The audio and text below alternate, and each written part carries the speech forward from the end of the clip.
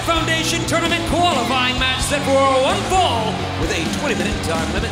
Approaching the ring from Panama City, Florida, weighing 202 pounds, Adam We are just moments away from AEW Rampage back at our regularly scheduled time on TNT. I'm Excalibur, joined by the Human Suplex Machine, Taz, and Absolute Ricky Starks. And Taz, we're about to have the third qualifying match in the Owen Hart Foundation tournament to kick things off at the top of the hour. Yeah, this should be a beauty for sure. What's about to go down here with Adam Cole and Ishii. So, uh, as you said, Excalibur Owen Hart Foundation tournament qualifying match. Big moment.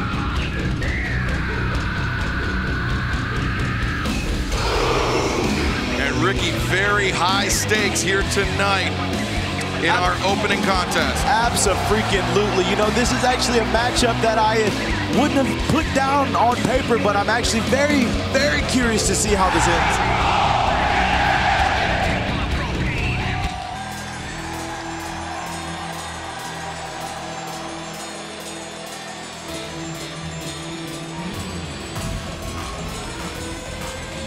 His opponent from Kanagawa, Japan, Tomohiro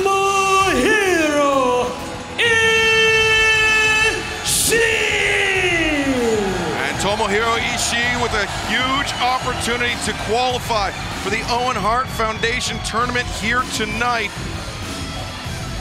And maybe playing a little bit of mind games. Well, yeah, that's smart, and that, that's what a you know a, a guy that's a, a veteran like Ishii is to play some head games with Adam Cole.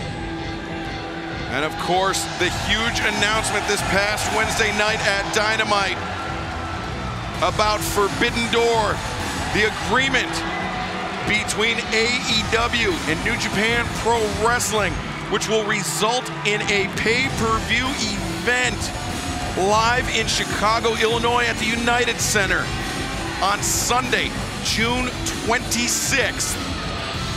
Though Adam Cole and Switchblade Jay White look to upstage that announcement. And coming up in just a matter of seconds, we're going to kick off Rampage with this huge qualifying match.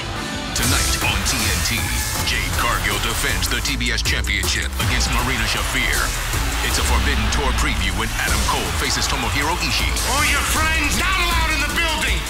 Kingston goes one on one with Daniel Garcia. I'm gonna whip you real good. AEW Rampage, tonight at 10 on TNT.